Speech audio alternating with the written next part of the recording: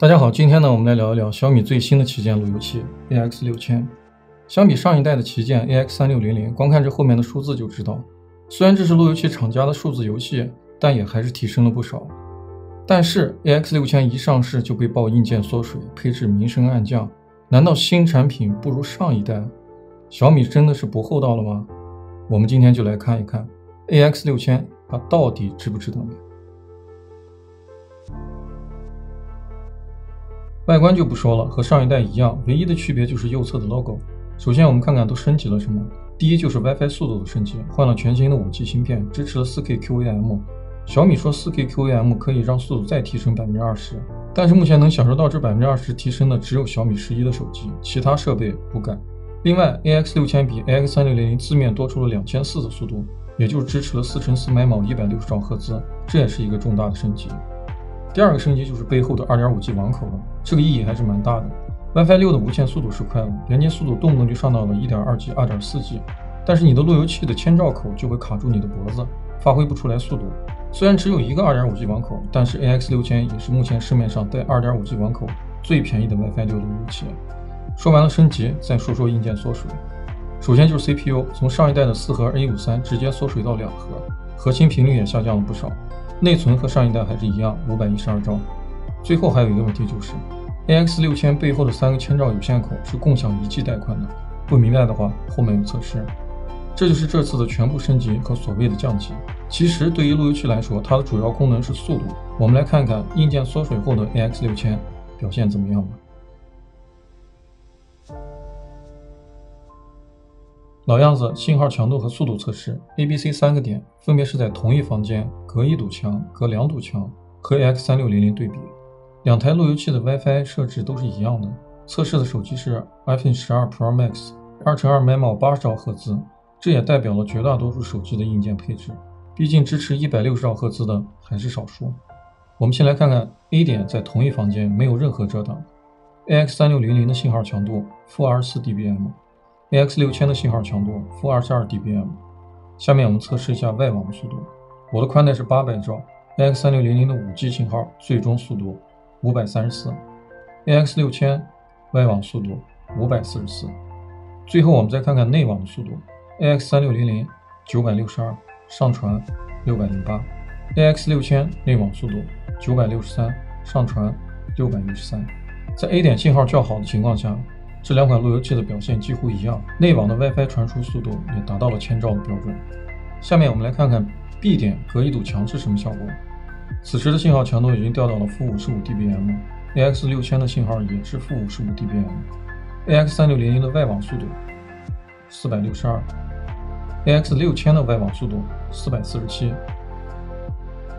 内网 AX 三六零零七百三，上传三百二十五。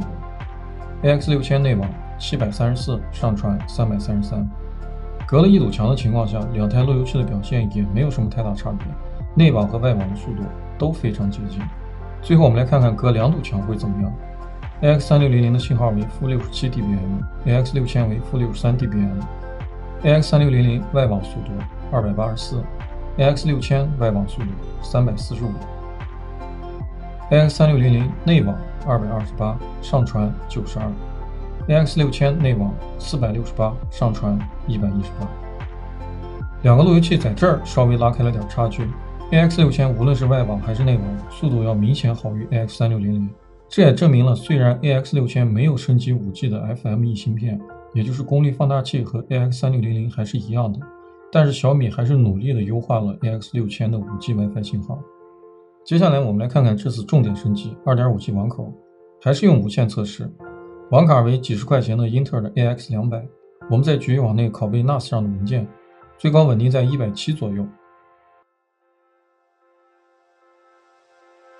从上面的测试结果来看，AX 六千在家用环境中没有用到新特性的情况下，也就是 4K QAM，和 AX 三六零零的表现差不多，WiFi 信号还要略好于 AX 三六零零。CPU 所谓的缩水并没有带来速度上的差距，所以不用过分纠结。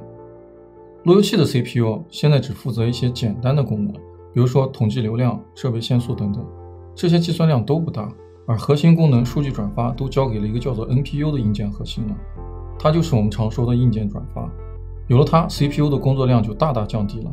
虽然比 AX 三六零零少了两个核心，但是普通家用环境下根本察觉不出有任何差距。而另外一些需求更高的用户，想要做一些加密解密的，也不会用它当做主力。如果你不明白路由器为什么要加密解密，那你对 CPU 不够用的担心更是多余。三个有线网口不能同时跑满千兆的问题，测试一下你就明白了。我们把 AX 六千的 2.5G 网口连接到 NAS 的 2.5G 口上，上面有内网的 Speedtest 测试服务。剩下的三个千兆口，我们都用网线连上三台电脑。我们来看看速度，这就是目前路由器上的三个千兆口连接的三台电脑。我们先用一台测试一下，没问题，下载 1.1G，这个速度完全达到千兆的标准。一台电脑没问题，那两台呢？两台电脑同时测速，一台五百一的速度，一台四百一十五的速度，是不是不对了？按理说应该每个电脑都应该跑到千兆，而这两台电脑的速度加起来才九百多。三台电脑一起测速，最后的结果也是一样。这也证明了 AX 六千的千兆网口同时使用的话，是在共享一 G 带宽。如果你的三个网口都插满了设备，极限情况下争抢带宽是不可避免的。目前的解决办法只能是在下面接一个千兆交换机了。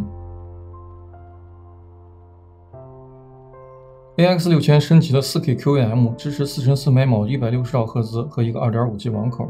我们一个一个说，4K QAM 只提升了百分之二十的速度，目前也就小米十一手机能支持，小米十一以外的用户就可以忽略这个功能了。4乘4 MIMO 160兆赫兹理论速度非常漂亮，但一百六十赫兹频宽在 5G 频段下抗干扰和穿墙的能力非常差，除非你离路由器很近，才可以达到不错的速度。我觉得一百六十兆赫兹的频宽在下一代的 WiFi 六 E 上，也就是六 G 频段下，那才是它的天下。小米呢是把能给的都给了，至于你的终端能不能跟得上，那就是你的事儿了。如果用小米十一手机测试，那 AX 六千的速度绝对会超过 AX 三六零零的。